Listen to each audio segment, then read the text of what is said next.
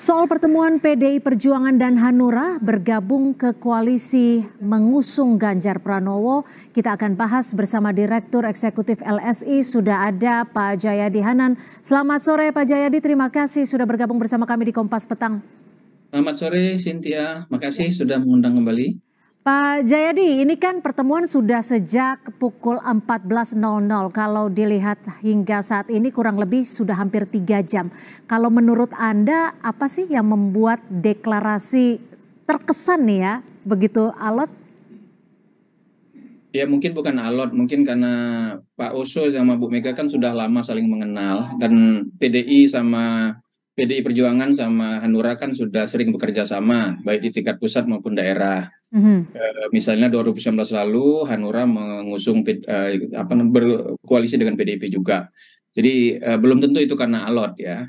Mm. Tapi memang uh, kalau uh, apa namanya pertemuan ini kan uh, tampaknya ingin uh, meresmikan dukungan Hanura kepada Ganjar Pranowo sebagai capres, sekaligus juga bergabungnya Hanura sebagai anggota koalisinya PDIP.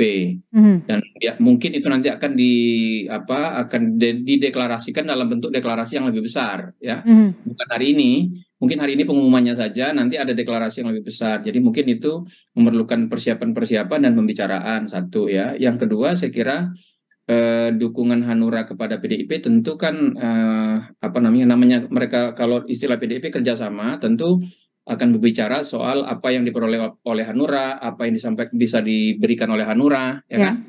Kalau hmm. PDIP jelas dia memperoleh dukungan Hanura kan gitu. Kalau okay. Hanura apa nih gitu. Uh, nah mungkin pembicaraan soal itu yang masih uh, dibicarakan. Ada proposal dari Hanura, ada proposal dari PDIP untuk kerjasama dan seterusnya. Saya kira hal-hal itu pasti dibicarakan pada uh, pada siang hari ini ya. Tapi kalau menurut Anda sendiri ini kan kerjasama Hanura dan PDIP, apakah ini artinya juga manuver koalisi pendukung Ganjar akan semakin gencar untuk mendongkrak elektabilitas?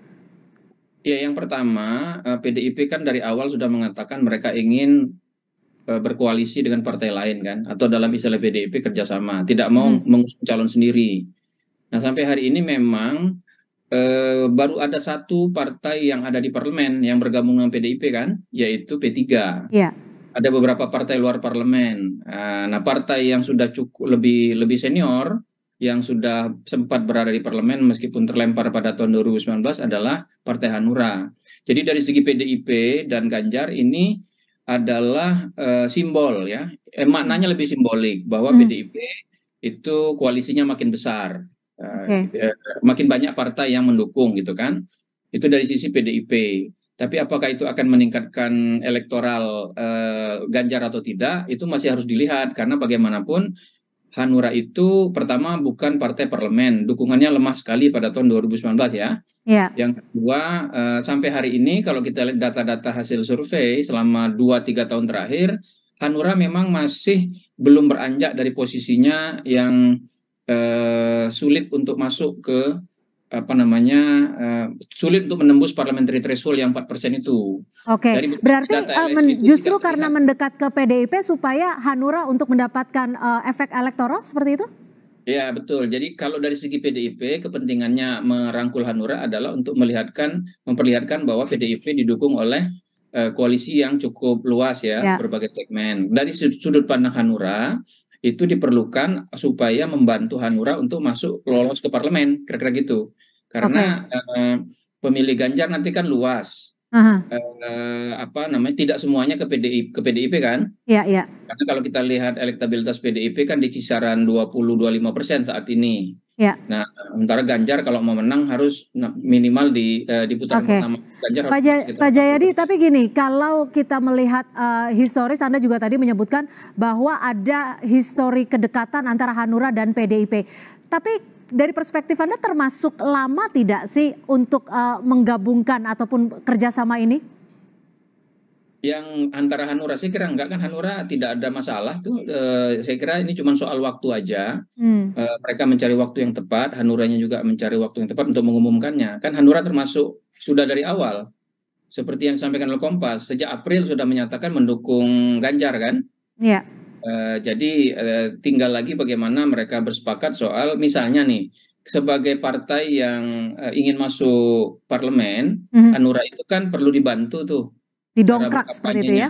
Iya kan? Nah, bagaimana tuh? Apakah misalnya, apakah nanti Hanura Eh, eh, peran Hanura dalam kampanye Ganjar bagaimana? Karena Baik. itu kan akan berpengaruh pada perolehan suara Hanura nanti yang Anda sebut sebagai efek ekor jas atau efek elektoral dari presiden kepada partai. Hal-hal seperti itu kan harus diturunkan menjadi strategi di tingkat lapangan kan, bukan hanya kesepakatan di tingkat di atas kertas gitu. Oke, lalu uh, bagaimana Anda membaca peta dari kekuatan koalisi pengusung Ganjar saat ini?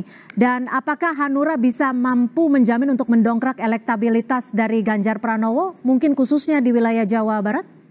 Ya itulah pertanyaannya, karena Hanura kan uh, dari data-data yang ada, sementara ini makna dukungan Hanura kepada PDIP lebih simbolik lebih simbolik, belum bersifat real elektoral. Itu yang harus dibuktikan oleh Hanura nanti. Ya. Apakah mesinnya bergerak atau tidak gitu. Karena sampai hari ini masih sulit uh, apa uh, kekuatan Hanura masih diperkirakan belum mampu untuk menembus parlemen gitu. Jadi uh, apakah saya kira ini juga yang dijadikan uh, pembicaraan ya bagaimana hmm. strateginya agar Hanura bisa mendongkrak Ganjar di sejumlah daerah tapi pada saat yang sama Hanura juga memperoleh uh, berkah efek ekor jas dari pencalon Ganjar itu okay. supaya Hanura memperoleh yeah. Iya. uh, angka yang cukup untuk masuk ke parlemen di tingkat pusat, kira-kira gitu. Baik, jadi harapannya ada win-win solution ya, baik untuk Betul. PDIP dan juga untuk Hanura.